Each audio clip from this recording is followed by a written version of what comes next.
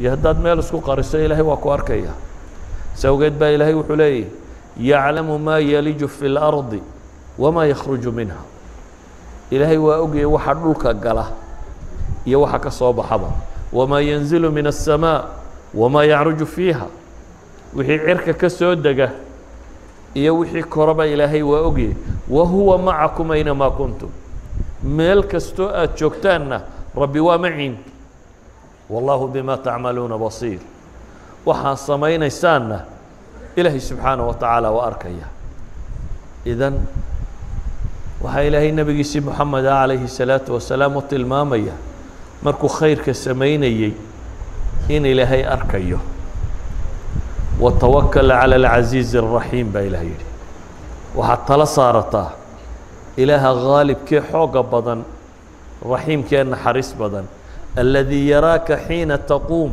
wataqalubaka fi saajidiin allaha ku arkaya marka aada istaagto salaad isu taagtid iyo wataqalubuka fi saajidiin kuwa sujuudsan marka aada dhex socota allaha ku arkaya inahu huwa الsamiicu اlcaliim baa ilaahay leeyay inahu huwa الsamiicu اlcaliim ilaahay waa ku maqlaya oo arkaya mansiladan qofka muslimkii markuu soo gaadho wuxuu soo gaadhaa xad uu xishoodo. Waxay dhahdaan mansiladii hore waa xad uu qofku ka boqo ilaahay awooddiisa. Almansila lula aynu ka warranay waxa weeyaan ilaahay baa ku arkayo waad ka cabsanaysaa. Ilaahay inaanu ku cadaabin baad ka cabsanaysaa. Mansilada tani cabsidaa way soo dhaafto waad xishoonaysaa. Ilaahay subxaanaه wa tacaala wuu ka xishoonaya.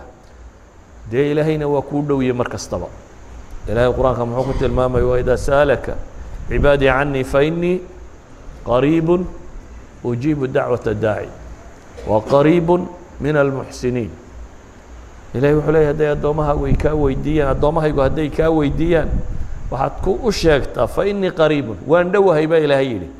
Anaa dhow oo ajiibayo maqlaya kay baryaya baryadiisa waxaa rabbiina leeyahy maa yakunu min najwى ثalaaثaة ilaa huwa raabicuhum walaa khamsaة ilaa huwa saadisuhum walaa adnى min dalika walaa أkثara ilaa huwa macahum aynamaa kaanuu saddex ma faqdo ilaa ilaahay baa ku afaro waa ogiyey rabbi waxay ku faqayaan afar ma faqdo hadday faqaan se ilaahay baa ku shana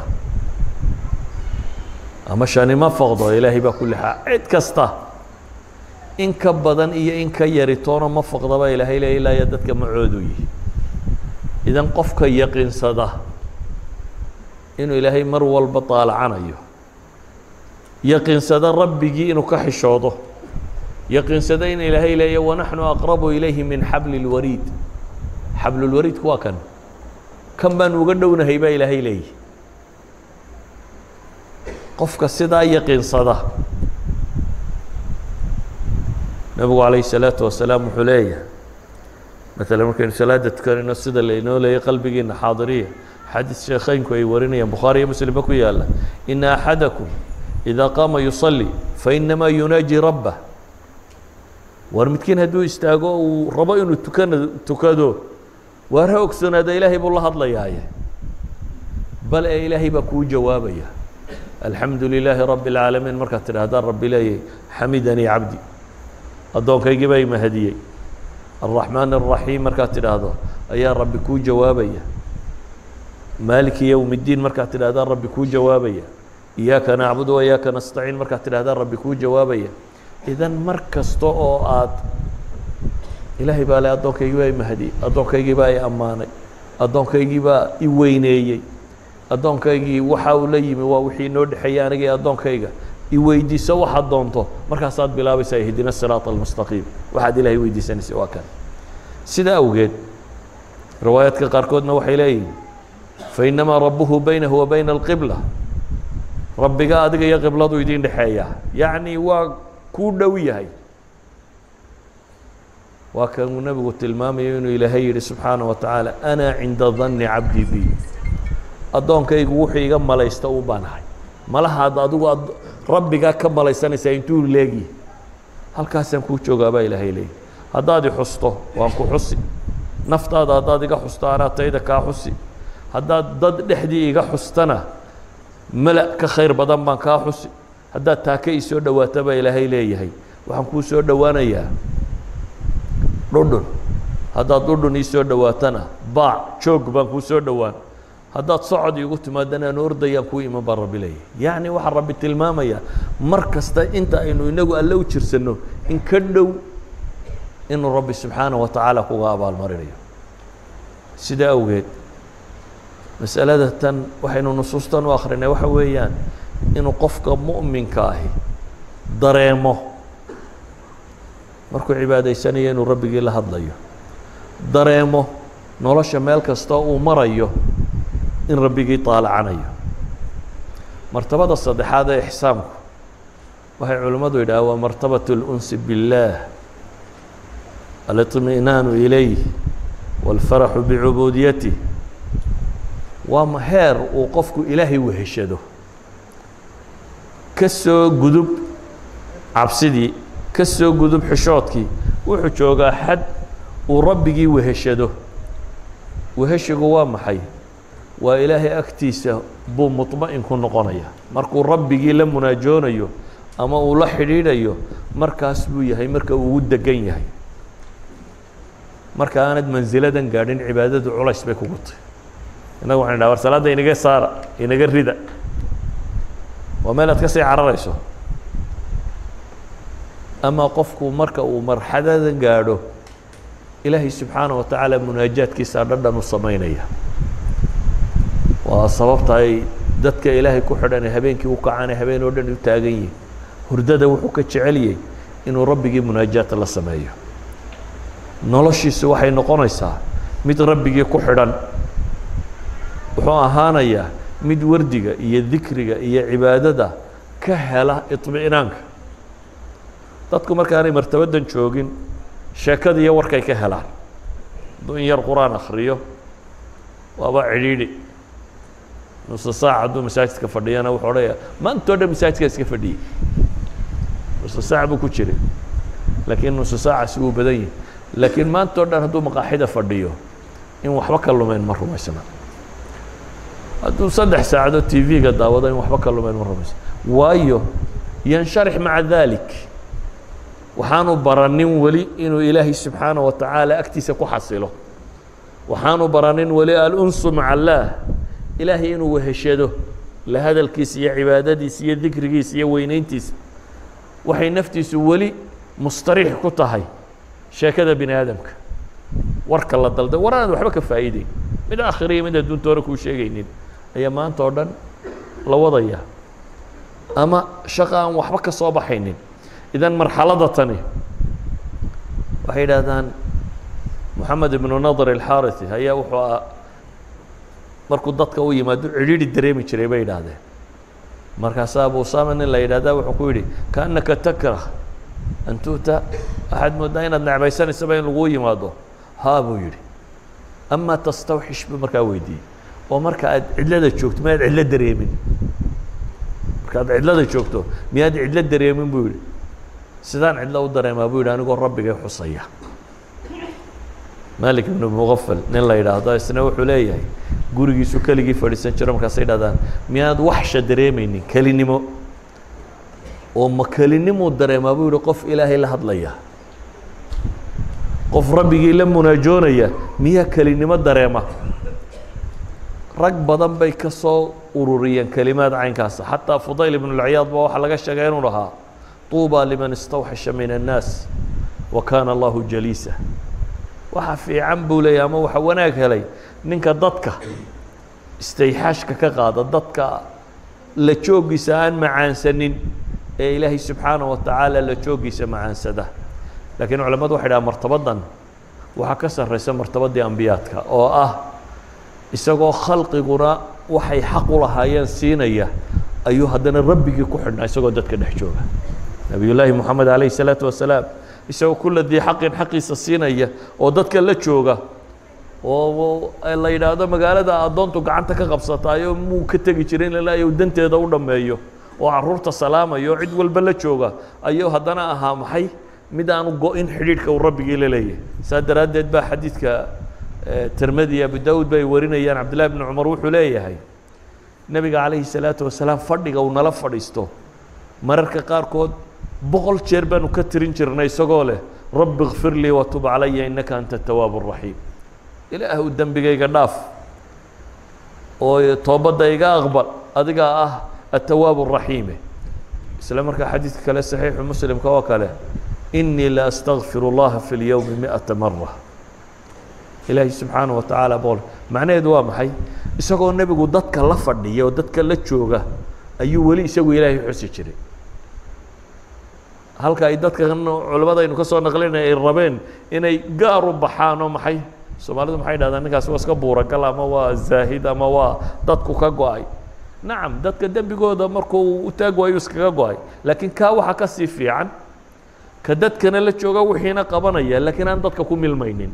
Isagoo dadka la jooga wardinaya isagoo dadka la jooga ilaahay ku xidhan isagoo dadka la jooga aan aqbalayn inuu xumo dhegaysto isagoo dadka la jooga wanaag u samaynaya kaasaa ka sii sarreeya. Marka uu nebigu gaarkiisa u baxana dee ilaahay buu ku xidhmi jiray. Maalan salaada caadiga markuu tukanayo wuxuu ilaalin jiray dadka xaajada qaba. Yacni jamaacada muslimiinta waxaa imanaya qof weyn waxaa imanaya qof daciifa waxaa imanaya qof buka waxaa imanaya qof dan loo degdegaya in lagu daaliyo markaa maaha faradka caadiga. Ah haddaad dee wada dhalinyaro wada xooggantihiin oo idinku gaar isugu baxdeen waa taas waa intaad doontaanba ka dhigan kartaa laakiin masaajidda caamka ah ee dadka tirada badan la joogaan dadka in xoog loo daaliyo maaha laakiin nebigu muxuu samayn jiray markuu isagu tiisa gaarkaa u baxo ayuu salaad dheer tukan jiray. Innaga waa cagsiga. Waxaa laga yaabaa faralka in la yaro dheereeyo laakiin sunnaha in faatixadu unaad ku tukato ama birabbinaaska ugu dheereeya u akhriyo waa cagsiga. Waxay ahayd tanbaad xor tahay. Sunnada cidina adigaa naftaada aamir ah adigaa xor ah. Saa daraaddeed ibnu mascuud baa wuxuu leeyahy xadiis saxiixayn ku yaalla nebiga calayhi salaatu wasalaam oo habeen tukanaya. Ayaan sidhi bu yihi war nebiga iskaga xidho. Dabeetana waa taagnidiiba wuu ka bixi waayey buu yidhi. Xataa hamamtu biamri suu'in buu leeyay ibnu mascuud ilaa aan ku hamiyey arrin xun. Markaasay dhahan waa maxay arrinka xun aad ku hamiday waxaan ku hamiyey buu yihi nebigoo taagan inaan iska fadhiista anugu waa arrin xun buu tilmaamaya inaan nebi moxamed calayhi salaatu wasalaam oo taagan anigu fadhiisto. Idan nebigu dhadhan bay u samaynaysay markuu kelidiisa noqdo. Xudayfa ibnulyamaan baa wuxuu leeyahay nebigaa ku xidhay calayhi salaatu wasalaam habeen isagoo tukanaya. Dabeetana albaqruu bilaabay buu yidhi. Markaasaan sidhi buu yidhi dee malaa ilaa boqol aayadood. Boqol aayadood waa jis dhadhow jisku waa boqol iyo labaatan boqol iyo afartan meelaha waxaan sidhi buu yidhi ilaa boqol aayadood markuu akriyo wuu rukuuci doonaa. Markaasuu ka socday buu yidhi boqolkii markuu akrinaya buu socday. Wuu waday. Waxaan sidhi buu yidhi malaa un dee suuradda markuu dhameeyo haddaba? Suurat ilbaqara waa imsa laba boqol iyo lix iyo siddeetan aayadood waa laba jis iyo dheeraad. Waana ragcad weli waxa loo taagan yihiin waxaan sidhi buu yidhi malaa markuu dhammeeyo albaqruu rukuuci doonaa. Dabeetana suuratu nisaa buu bilaabay buu yidhi. Markaasuu haddana nisaa dhameeyey dib buu u soo noqdo haddana. Suuratu ali cimraan buu bilaabay buu yidhi. Markaasuu haddana ali cimraan dhameeyey waa saddex suuradood waa shan jis meelaha. Ayuu ragcaddii koowaad ku akrinaya waxa kaaga daran siduu akrinayay mayuu dudubinayey maya. Rabbigii buu la munaajoonaya la hadlaya. Wuxuu leeyahy mutrasil buu ahaa.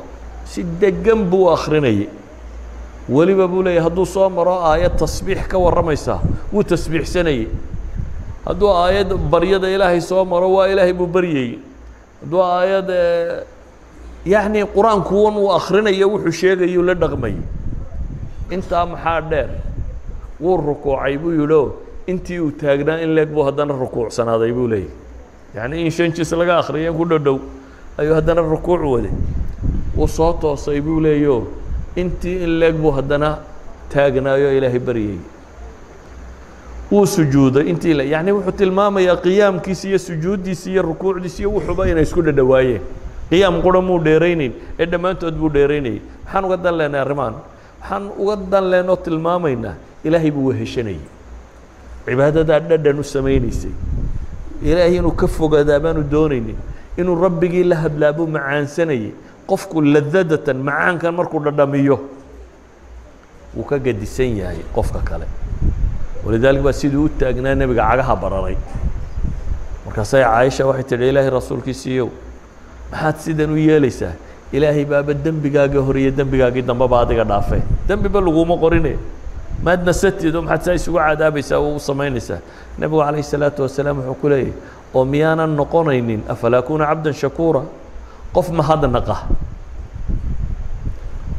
ilaahay subxaana wa tacaala waan u mahadnaqayaa buu tilmaamaya ayuha alaxiba waxaynu leenahay markaa ixsaan اlcibaada an tacbud allaha kaannaka taraah fain lam takun taraah fainahu yaraak. Maqaamaadkaa saddexdaabay culammadu ka tilmaamaan. maqaami اlkhawfi wاlmushaahada iyo maqaami اlxayaaءi wاlmuraaqaba iyo maqaami اlunsi maca allah inaad adigoo ilaahay ka cabsanaya waxa samayso oo rumaysan inuu ku arkayo iyo inaad ilaahay ka xishoonayso aad dareensantay inuu ku daalacanayo meel kastoo aad joogtaba iyo inaad ilaahay weheshanaysaba oo inaad isaga la joogto aada macaansanayso walidaalika baa culammadii muslimiinta qaar ka mida waxaa laga jee laga sheegaa inay odhan jireen jannada adduunka ninkaan ku dhadhamini jannadii aakhire kaasi dhadhamin garan maayo jannaday sheegayaan waxa weeyaan ilaahay ku xidhankiisa inay cibaadadu dhadhan kuu samayso inaad ilaahay weynidiisa dareento inaad ilaahay wuxuu nimco ku siiyey dareento inaad ilaahay mahadnaqiisa badisid inaad rabbigaa subxaana wa tacaala weheshatid kaasi waa ixsaanka qayb ka mid a ilaahayna wuxuu ina leeyay wa axsinuu in allaha yuxibu اlmuxsiniin ixsaankaasi sameeya oo samafaloo cibaadadiina ku samafala ilaahay subxaana wa tacaala wuxuu jecel yahay kuwa samafale. Inaa laa nudiicu ajra man axsana camala wa ina allaha la maca almuxsiniin ilaahay aayad badanoo qur'aanku ku tilmaamaya dadka ixsaanka sameeya ajarkooda inaan ilaahay luminin. Ilaahay inta muxsinkee samaha samaysa inuu macooda yahay. Ayuha alaxiba haddaynu rabno ilaahay inuu kuu hiiliyo inuu kuu gargaaro inuu nolosha kuu fudaydiyo waxaynu u baahanay cibaadadeennu inay dhadhan samayso. Cibaadadeennu inay dhadhan samayso. Hadduu qofku noocaa noqdo acmaashiisa inta soo hadhaana waxay noqonaysaa miduu ku ixsaan samaynayo waayo wuxuu ogyahay inuu rabbigii طaalacanayo idan fii kuli axwaalihi yatacaamal maca allah. Qofkani wax kasta uu qabanayo ka eegi maayo xagga dadka ka soo horjeeda. Ee wuxuu ka eegayaa maxay xagga rabbigii subxaana wa tacaala. Hadduu wax sadaqadaysanayo ilaahay buu ugu dhowaanayaa wax fiican buu sadaqaynaya. Eegi maayo qofkanuu siinayaa ku yihi hadduu hadlayo wax wanaagsan buu sheegaya. Waquluu linnaasi xusnan baa ilaah yidhi. Dadka sama ku dhaha waayo ilaahay buu muraaqabadiisa ogyahay in rabbigii daawanayo ilaahay buu ka xishoonaya in rabbigii uu ka maqlo wax afkiisa ku xun. Taasi waxay keensanaysaa hadday alixsaan fi dhacdo automatically waxaa ka dhalanaya mucaamalaadkaaga oo dhami inay ixsaanka soo galaan. Qofka mu'minkana mucaamalaadkiisu waxay gaadhaan. Xadiidkii صaxiixa ahaa ee muslim soo saaray shadaad ibn aws inuu nebigu leeyahy calayه الsalaaةu wasalaam markuu wax kaloo dhan sheegayba ina allaha kataba اlإxsaana calى kuli shay ilaahay wax walba in ixsaan lagu qabto si fiican loo qabto ayaa rabbi faray dadka oo xataa baa rabbi leeyahy haddaa wax dilaysaan si fiican u dila qof dil lagu xukumay oo maxkamaddu dilayso in tamhiil lagu sameeya ma banaana in la googooyo ama la toorjargareeyo ama la ciqaabo ama kan ma banaana xataa haddaad wax gowracaysaan baa la yidhi digaagad neef waxbaad qalaysaa faaxsinu dibxa baa ilaahay yidhi gowraca wanaajiya. Oo wuxuu nebigu yidhi calayhi salaatu wasalaam mididaada isagoo neefku ku arkay nin soo soofaysa raawisa ku gowrici midaad kirkirayso aan waxba jaraynin ha ku gowricin. Midi af badan ha ku gowrac. Oo nebigu wuxuu leey falyurix dabiixatahu. Ha u raaxeeyo neefkan uu gowracayo. Idan qofka mu'minkii wax kastoo uu qabanayo ilaahay baa kuu baneeyey inaad xoolaa qalato laakiin ha silcinin. Sida ugu fudud ee naftu uga bixi karto u gowrac baa layna faraya. Haddii ay markaa dhabowdo inaynu ixsaanka cibaadada a samaynayno. Waxa dhaboobaya ixsaankii layna faray oo dhan ee kale inuu dhab noqdo. Oo maxaa ka mid ah? In waalidkii loo samafalo addaa'ira lula kuugu dhow waa waalidka in loo samafalo adigoo ilaahay ka cabsanaya subxaana wa tacaala daa'irada labaad ku xiga dawi lqurba qur'aanku wuxuu tilmaamayaa qaraabada in loo samafalo daa'irada taa ku xigta ka sii agdhadhow mujtamaca intiisa daciifka ah alyataama walmasaakiin iyo walfuqaraa iyo wixii la mid ah in loo samafalo daa'irada kaa ka sii durugsan muslimka cumuuman in loo samafalo daa'irada taa ka durugsan mukhaalifka qofka ah xataa kuwaan kula diin ahayn in loo samafalo haddaanu muxaarib ahayn hadduu dagaal kugula jiro mowdiculjihaadda joogo waa gaar laakiin markaa nabad tahay kuwanaa la degantihiin oo kale markay tahay in loo samafalaa baa diintu ina faraysa bale in dadkooda ducafadaa wax la siin karo oo loo samafali karo ducafada aynu sheegaynaa waa maxay cid kasta oo baahan gaalka zakaan la siin karin zakada lama siiyo. Laakiin sadaqada caamkaa waa la siin karaa. Hadduu baahan yahay hadduu daciif yahay hadduu jaarkaa yahay hadduu qaraabadaa yahay waa la siin karaa. Sidaa awgeed daa'iradaasaa loo samafaraya markay basharka dhaafto waxaa la yidhi waxaad u samafalaysaa maxay? Xayawaankii oo nebigu calayhi salaatu wasalaam wuxuu tilmaamayaa qof dumar ah ayaa naarta ku gashay bisad mukulaal bisad mukulaal bay qof dumari naar ku gashay. Dabeetana nebigu wuxuu yidhi way xidhay oo waxay cuntana may siinin manay sii daynin dhulkeeda deh u arsaaq tagtee markaa bisad bay toorjar garaysay.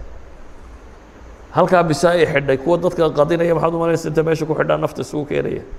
Haddii bisaas la isku cadaabayo cagsigeeda wuxuu nebigu yidhi calayhi الsalaatu wasalaam nin riwaayaadka qaarkoodna gabadhba ku soo arortay zaaniyada ama xun. Ayaa iyadoo haraadan ku soo baxday ceel biyood. Dabeetana way ku dhaadhacday way ka soo cabtay.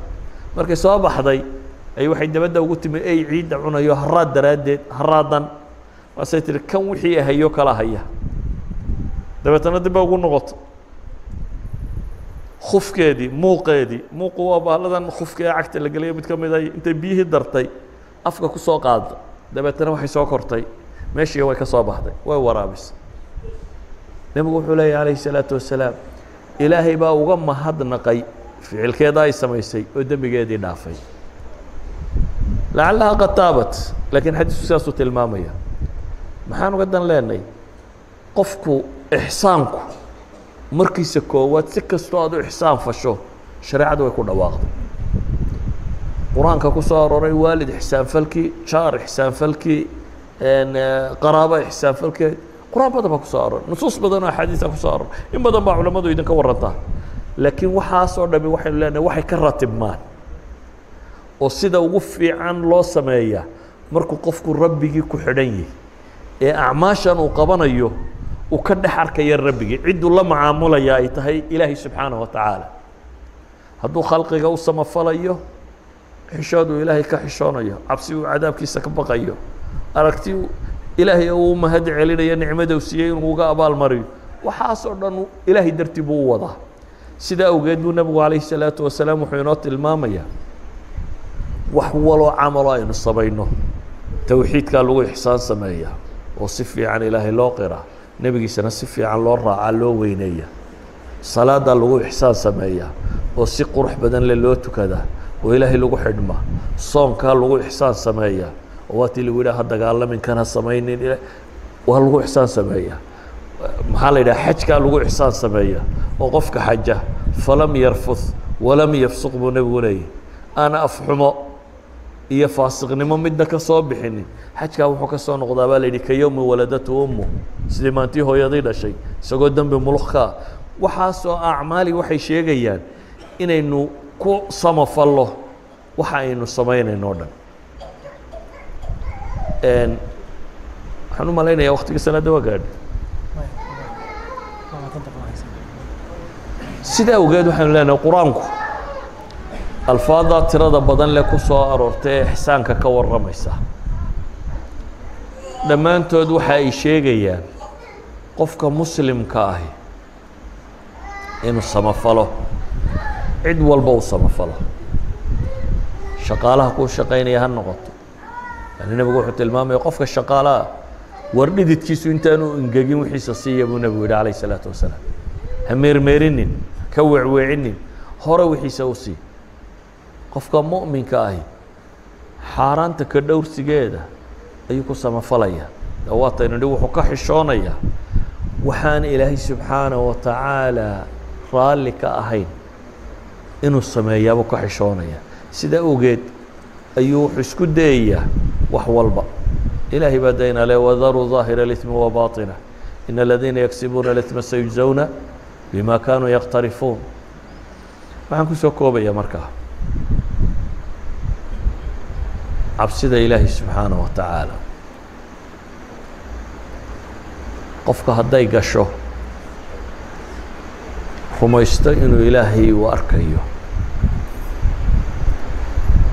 Waxa kale oo dhami way hagaagaan. Waxay culamaai taariikh wariyaan cumar bin اlkhadaab waktigii uu amiiru lmu'miniinka ahaa buu habeenkii intuu ninka haysto ayuu wuxuu soo mari jiray xaafadaha iyo dadka oo wuxuu eegi jiray bal cid cabanaysa wax dhiboo jira. Kormeer. Habeen buu soo socday. Dabeetana wuxuu maqlay xaafad inan iyo hooyadeeda wada hadlaya. Islaantaa waxay tidhi nacaanihii biyaa ma ku dartay. Nacaanihii suuqa aroorta la geynayey ayay islaantu rabtaa in la badxo biyo lagu daro. Markaase inantay waxay tidhi ooyo cumar baa mamnuucay. Oo yidhi lama ogola caanaha in biyo lagu daro. Islaantii baa waxay tidhi ina amiir اlmuminiina laa yaraaka lan laa yaraaki lan amiirulmuminiinku de hadda ku arki maayee tiri shaqada inoo qabo. Amiirulmuminiinku haddayna arki maayee shaqada qabo bay tihi inantii baa waxay tidhi ida kaana amiiru اlmuminiina laa yaraana faina rabu amiiru اlmu'miniina yaraana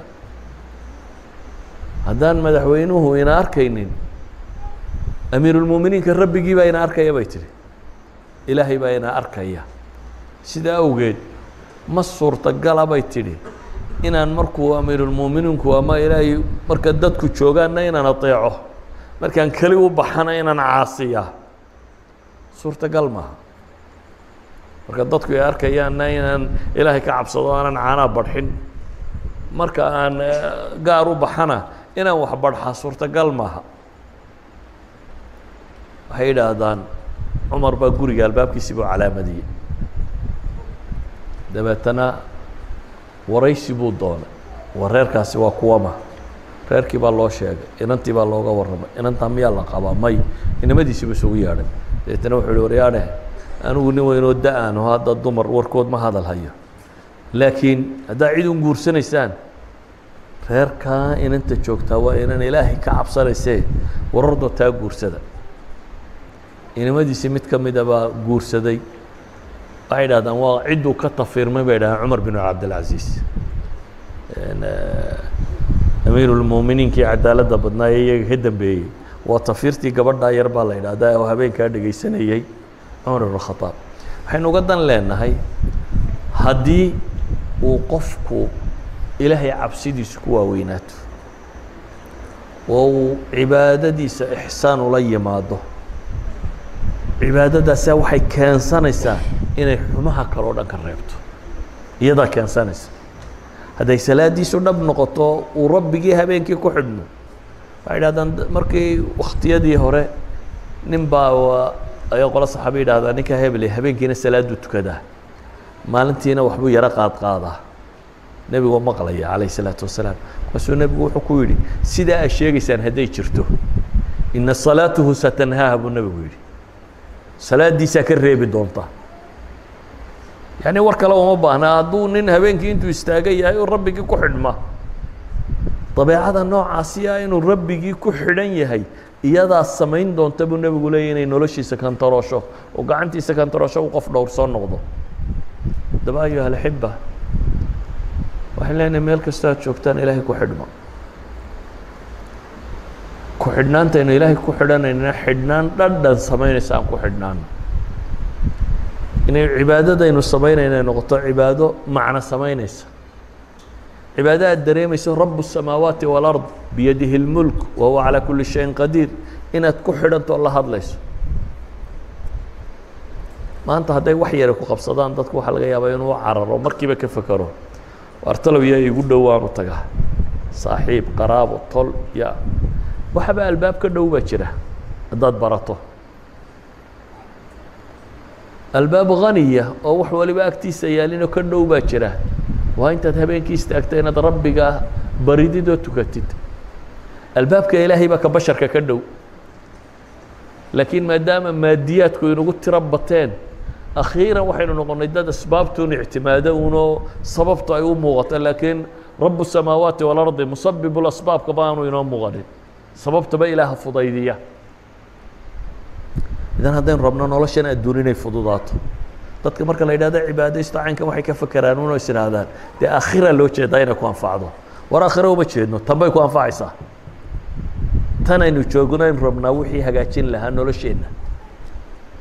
Inay nolosheennan adduunyo shaqadeennu aqoonteennu cilmigeennu caafimaadkeennu tacliinteennu dadnimadeennu inay hagaagtaynu rabnaa. Waxaynu leenahay waxay ku hagaagaysaa. Markaynu xidhiidhkeennu ilaahay la leenahay uu qurux badnaado markaynu gaadhno xad ducadeenna rabe aqbalo. Markaynu gaadhno xad waxaynu doonayno inuu ilaahay weydiisano. Xadaynu basharkaba ka maarmi karno. Oo alunsu maca allaahi gaadhno. Inaynu ilaahay u heshanno oo markaad qur'aanka akrinayso uu dhadhan kuu sameeyo kuu macaanaado. Oo markaad salaad tukanayso uu kuu macaanaato.